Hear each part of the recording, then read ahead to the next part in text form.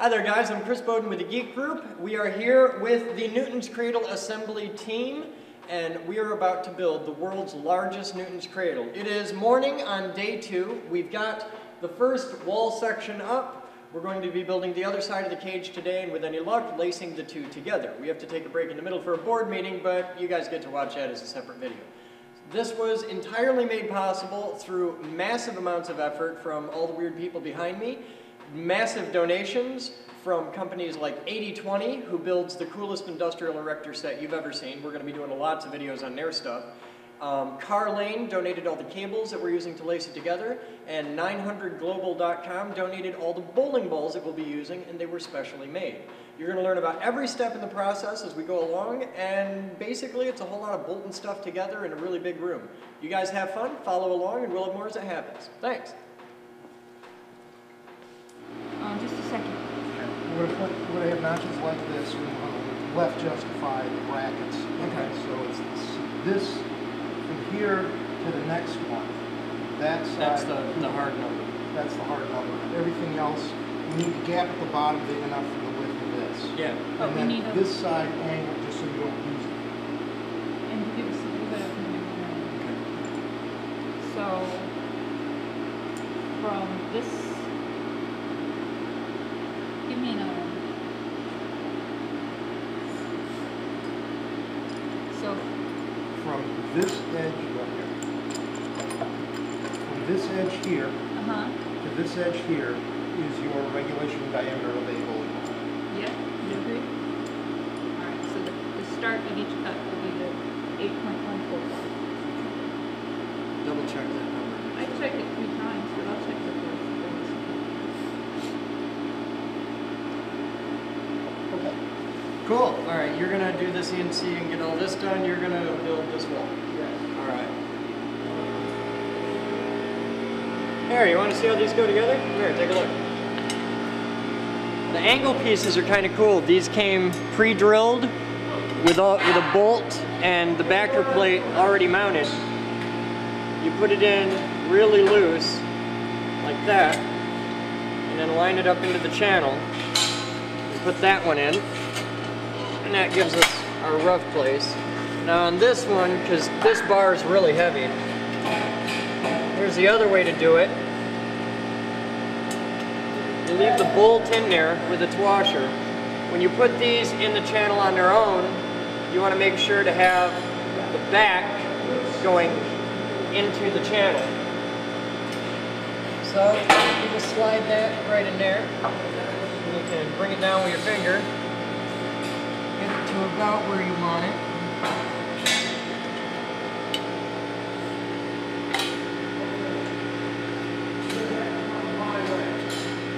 Now when I put it in there, you'll see that you turn it backwards one turn and push a little bit and like you're unscrewing it but pushing in and you'll feel it pop and that way you know that you're at the right spot and you won't cross thread it or anything like that. So now that's in there but it's still very loose. I can, I can wiggle it around and that'll let me maneuver everything. But you wanna, you gotta plan ahead when working with this stuff because once the seam is together, it's really hard to come back and put it in. Now, on the bigger pieces, this is what they look like on the inside. On the outside, it's, it's just the basic, they look like rivets even. But on the inside, they're paired up. And you want to plan ahead when you do these so that they all point the right direction. This is a T-fitting, so they go like this. You have them nice and loose. You just slide them right in. It's really easy. And then take this one.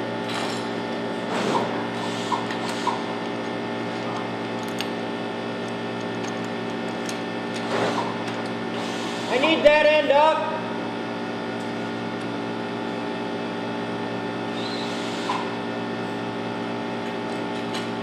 You can just set it on a thing if it makes it easier.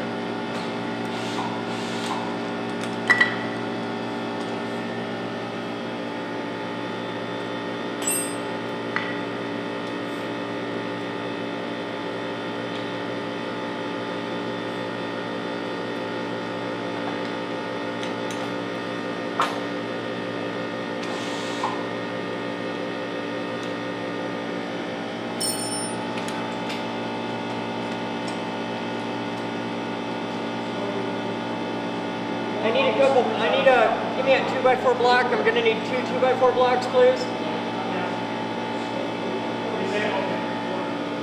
Thank you.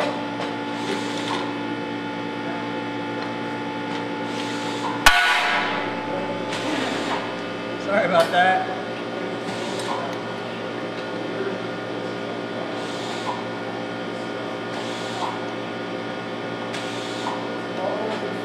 There.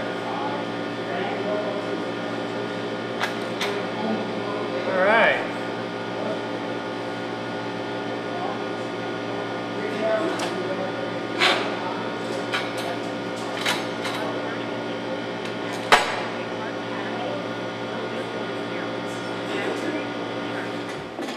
Hello, everybody. We're back here again, putting the uh, corner together again. Uh, we just had a little bit of a problem where I put things in wrong and now got to do them all right. Um, these here are the ball hangers.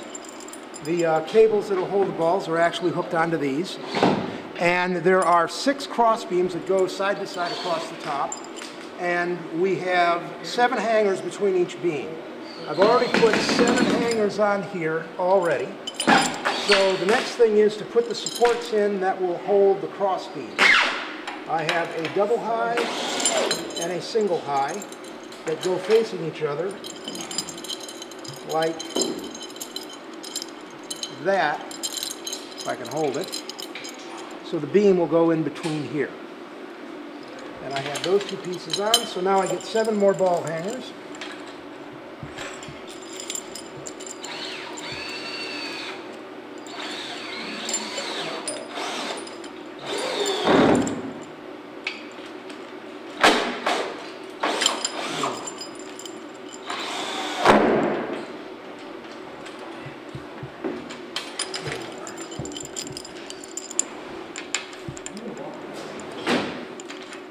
five, six, seven. Okay, make sure we got the right number. Two, four, six, seven. Then we go ahead and put in the supports for the next cross beam. Make sure our screws are in far enough so they don't fall out. And we go in the top two here and the top one here. So there's the second beam, and then seven more of these.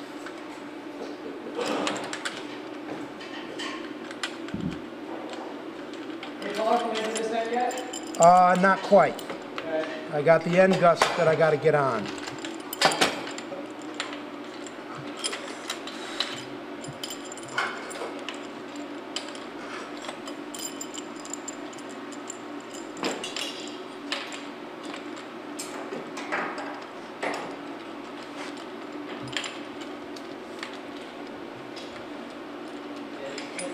For the meeting there. Would you, Eric, and Steve get the table set up for the meeting, please?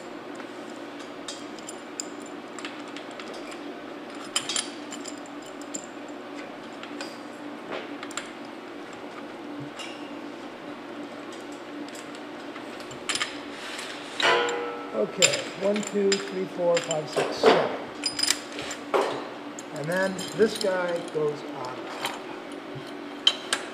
So there we go. That's all the pieces we need for the cross supports and the ball hangers on this end. We have a, uh, another gusset plate that'll go on the end here. And I need that bar going that way right now, Duck. This one? Yeah, pull it towards you, please. I need it all the, yep, that's good.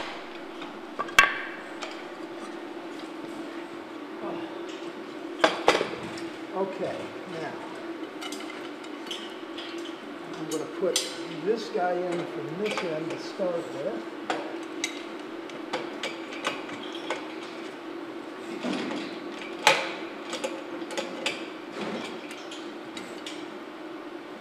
Oh, yeah? Where's that piece supposed to go? Where's what, it's gonna be rotated around Okay. 180 degrees. I'm just holding it this way to get it started. Okay. Yeah, to make sure there. There's a little bit of difficulty. Did you get the thing in? Yeah, I got it right up there. Now you can flip it around. Yeah, I got it. I'll handle this, you fight that. That one you're gonna have to put I know in how to onto do the- Okay, fine, well, I've done this once or twice. okay, this guy goes in like so. Thank you, sir. We got three screws on this one, and two on this one. I'm not sure. This one kind of looks not square. Um.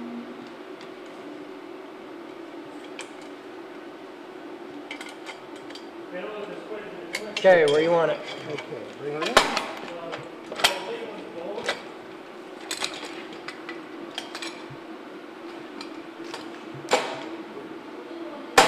You good? Ow, that hurt. Where's your wrench? I don't have a wrench. You don't have a wrench. Nope. We're doing all this, you ain't got a wrench. That's right. You got a screw shooter. operation you running here, Paul? I'm just doing this all. We're supposed to be professionals. Now, you tighten up. I'm going to the other end to get the other stuff loaded on. All right, I'm gonna tighten all of this. Ah! I need two screws.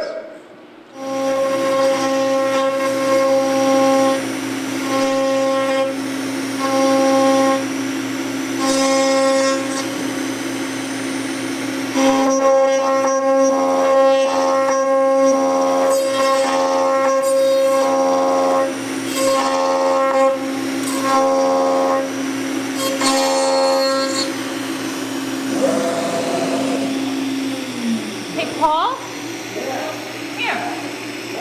Come here. How's this? That will be perfect. Okay. That'll work just fine. Then I will set it up to do it on this board.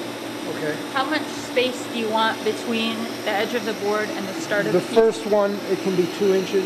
Okay. That would be fine.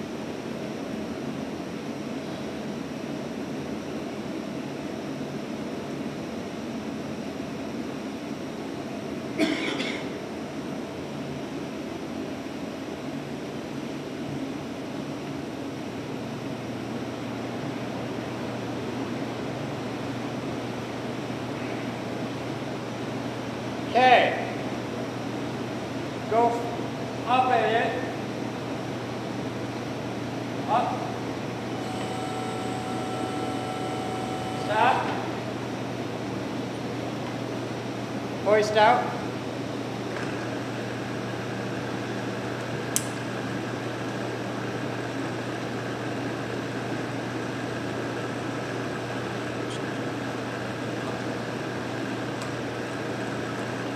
Stop.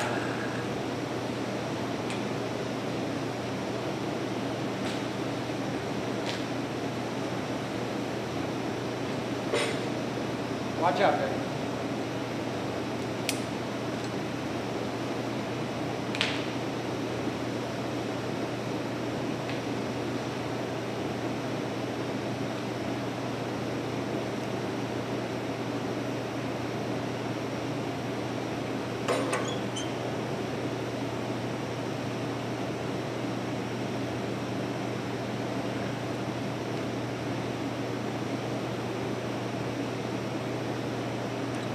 Hoist out.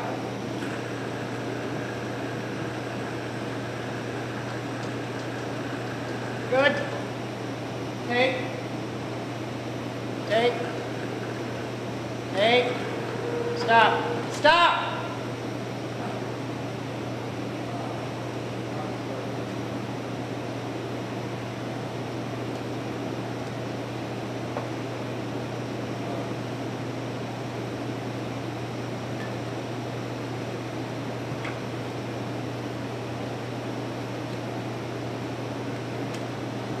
Down.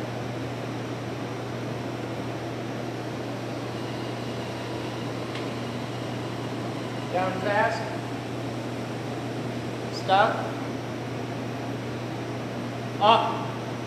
Take. Here, I'll take the hoist.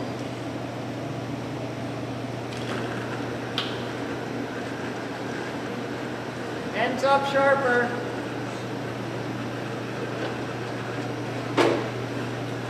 Bottom is screwing out toward this. We've got it going into the case here. Huh? It's going into the case. Can I Take it out and pull it out. There you go. Alright, you're just barely off the ground, the rest is good. Alright, we're gonna keep that floating there like that. Is it stable? Let go. Alright, it's stable. Alright, now we start lacing it. So we're gonna have to bring that over to here to do it. This is the portal side. Yeah, I know, it's pretty close. I just don't know how exact. All right, well, Lewis, I need you to run. I need to go to this end. You want the bottom one down first, Huh? bottom rail first? Yeah, let's do the bottom first.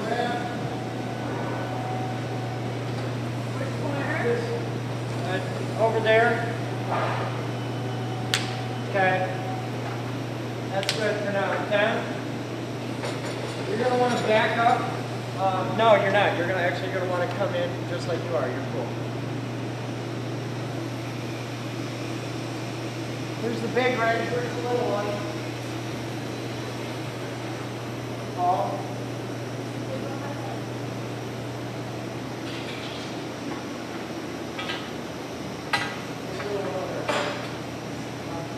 Uh-oh. Gonna need about two more feet, right, tighten those cabinets is where we're gonna be. Could be if we come over here with this stuff. We can get about six inches with that one, the DeWalt cabinet that's. All right, move the DeWalt cabinet here. Set that down. Paul, where's the Allen wrench? Thank you. You and Dave move the DeWalt cabinet straight that way. Just kick it out of the way, and that'll get us room there. And then we'll move, move, move everything you can around the corner. This is on wheels, so just hold it out of the way. I'm gonna start prep on this stuff. We just About slide the same size. actually. If we slide it, uh, Yeah. All right, help her move that stuff right around the corner.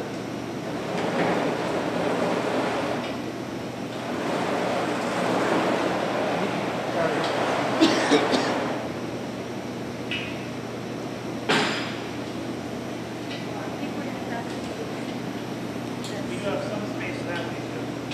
It's got a lot.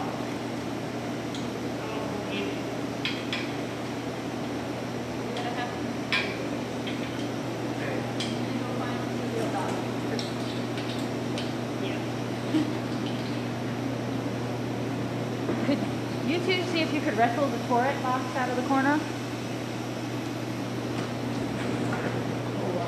Do we have a head truck? He was gonna go look for one.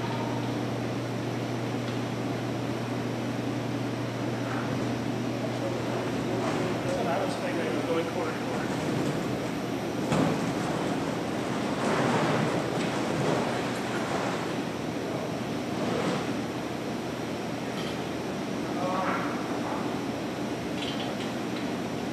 A lot of stuff on this, can't do it.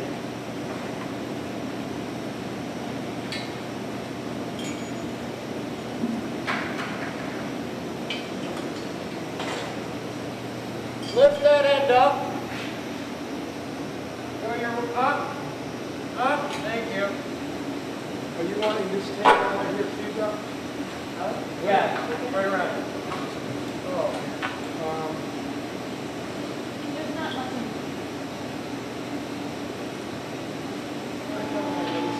just hold on to the lift and I'll pull Go back. ahead. How close are you? Yeah, you need about two more inches. Watch out. Oop, almost. out, watch out.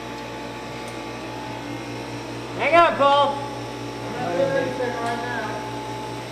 Mine in, Dave. Trying. It's fine, it's fine. Paul, come, stay, hang on, hang on. Paul, come to me a half inch. Come to Push you a half inch. Yes. Stop, hold your position. I have a suggestion on how to get the, the next, the remaining ones after this. What? Carry it over to him, he's gonna have to go up on the forklift with it. Yeah.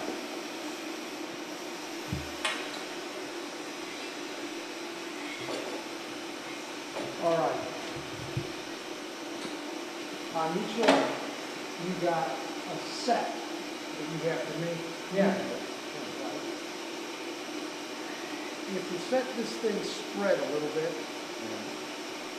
and you start with the rail down there, you'll have this gap on either end.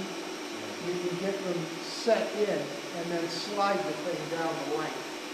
It'll get narrower until the thing's at the right width. You bring it all the way down here and put it snug so it's not gonna fall out, and you get all six rails lined up there. And then. Then you start, you slide them in where they're supposed to be. All right, back from there. short term, um, I'm gonna get this up and roughly in position. Get the big ladder, the big orange ladder, we're gonna need it. Yeah. All right, Moose, um, you're gonna back up and get centered right in the middle of the rig.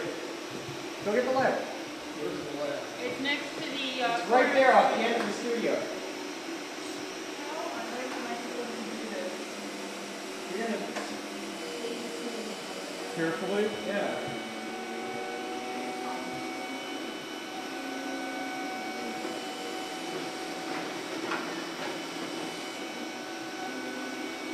You want me to do this part? Yeah. Okay, because you're making me nervous, just being the guy there. I don't really like putting fifteen foot long sticks on the board. Ain't nothing but a thing. You want to be just about anywhere where you are.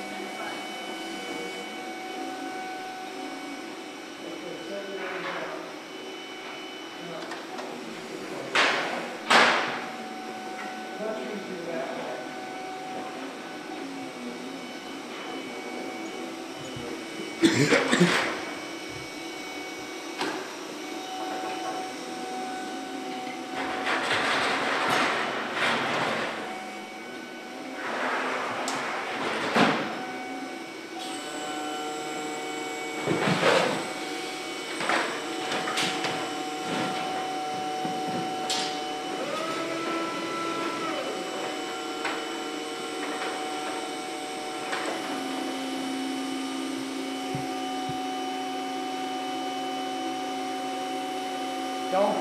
Don't pull that to you. I'm not pulling it towards me, I'm pushing it sideways. Okay, Alright. go up.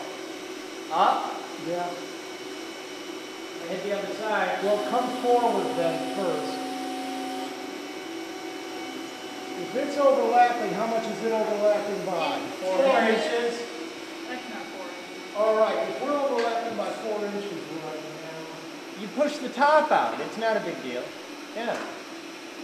You got lots of wiggle room up there. All right, I need another ladder. Hold on. Moose, go get do the forklift thing now. What about the rolling ladder? Paul, if you, stop, stop, stop, I Paul. know, the rail doesn't go across. But come forward. I'm not going to stand there. Stop.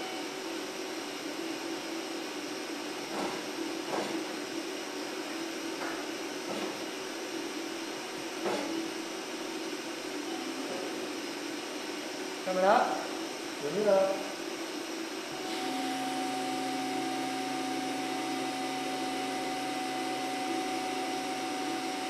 I got elevation.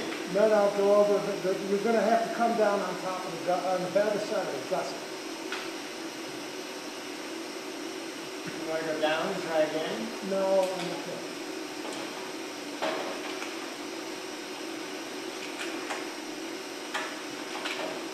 I could really use somebody with a basket like that. All right, are we Go, getting there? go, yeah, go down, take down, here's, Stand by.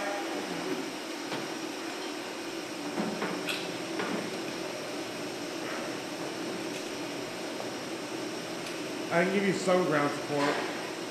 Now your camera. All right, I'm in the box. okay. Bring it towards me very gently. Hold on, The other one on the other side has to match it. wait a minute, wait a minute, go that way. This one's a little-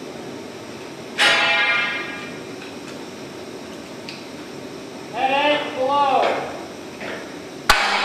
Oh, right on the rail.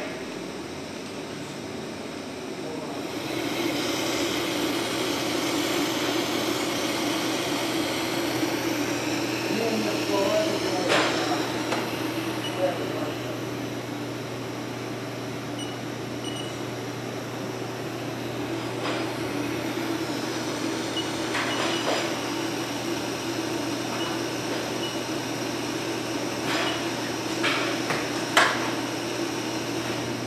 Okay. Now, you gotta engage these two first. It's all you. Bring it towards me, slow stop, too far, back up a little. Too far. Yeah, I gotta engage the next set. Oh. Hold on, let me make sure that. Okay, now, I gotta, slowly, I gotta, I gotta Yeah, I finish, see your finger. I gotta engage the last set. Oh, we know you're there.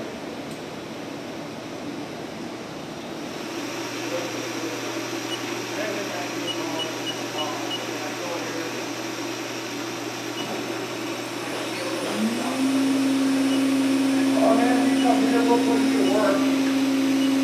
You take this stuff right off.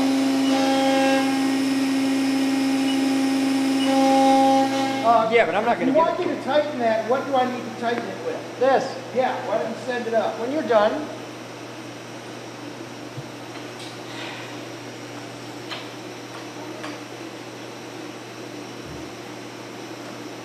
never. I haven't been able to do that since I was 12. If I do that one- nowadays, oh, I- I'm figuring off.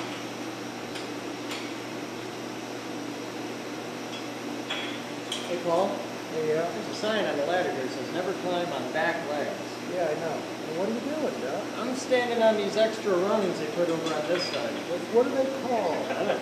I think they're called back legs. I legs. didn't climb on the back legs. This is the leg. Over here, I have a program set up in the CNC machine. We're going to be cutting out a gauge for the bowling balls. Bowling balls have to be spaced apart very precisely. A bowling ball is 8.496 inches wide. So I made a gauge that has a gap that is 8.496 inches wide. You can see on the screen here, it is going through a simulation. That is what it looks like as it's cutting. It is a little awkward. It's going to do the top layer from each one of the gauges and then go back to the beginning, but it was the easiest way to program it. I didn't want to spend an hour programming it. Everything checks out okay, so we can stop our simulation. And we're going to start over there.